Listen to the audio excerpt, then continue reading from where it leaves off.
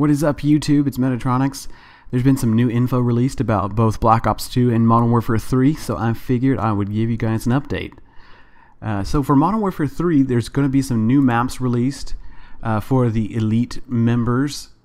We have uh, some new multiplayer maps and some Spec Ops stuff, which is pretty awesome. So for the, the multiplayer maps, we've got Boardwalk, Parish, and Gulch.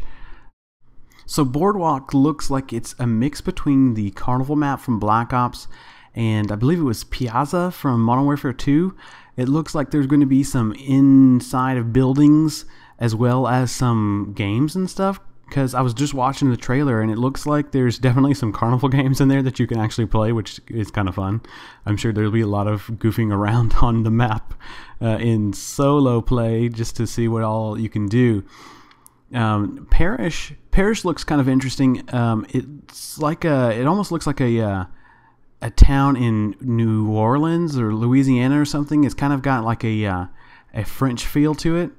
Um, and then Gulch is a big mining town. It looks like there's going to be some nice sniping spots and uh, some kind of mid to long range sight lines.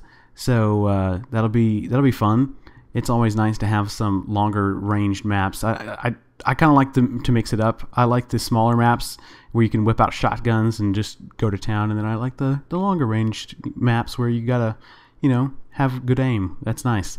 Um, now for the Spec Ops stuff, you've got Chaos mode. Um, and it's a survival, and it's a running gun type of endless swarm horde mode kind of thing for for Spec Ops, which is great. I don't know why they haven't done that before. It seems like that's kind of a no-brainer.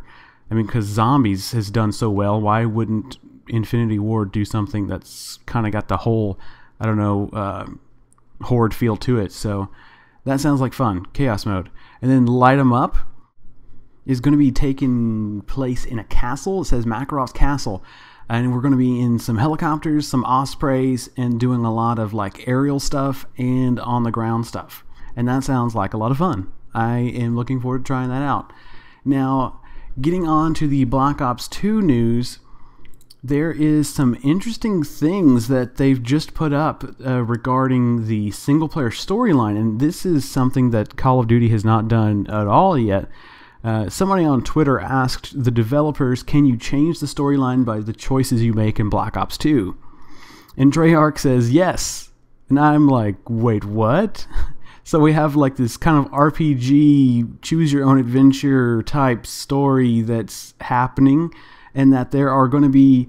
Uh, it doesn't look like the whole single player mode is going to do that, but it's definitely it says that there will be levels in the Strike Force levels they're going to be non-linear sandbox style, uh, and so that is pretty darn cool. Um, I don't know about you guys, but that sounds like a lot of fun, where you can make your own decisions and, and you know change the storyline according to that. That is something that no Call of Duty has done, as far as I know. Um, so I'm looking forward to that. Now it's saying here that uh, that you'll be able to take control, uh, assuming control of any member or robot or drone from your squad. So now I'm a little I'm a little interested there. When they say robot, are are we having like full on robotic people? Are we just talking like the robots like uh, the assault drone or whatever that sort of thing? That's that's interesting to me because drone to me sounds like a machine that you can I don't know move around the map uh, that does your bidding or whatever. Whereas robot sounds like it's more of an autonomous I don't know, humanoid like thing. I don't know what else to call it. Um, but so that's very interesting. And so uh, it's saying that you can uh, set waypoints and issue commands. So that's that's also kind of cool. I guess they're going to be doing uh, you know a whole AI team that you're playing with, um, and that is something else that's new to Call of Duty as well. Um, well, guys, that's all I got for today. I hope you enjoyed. Give it a like, subscribe, add it to your favorites, let your friends know about it. Uh, tell them that you heard it first from Metatronix. And I will have links to the different articles and videos and whatever else I'm referencing in the video uh, in the description. So thanks, guys. I'll see you next time.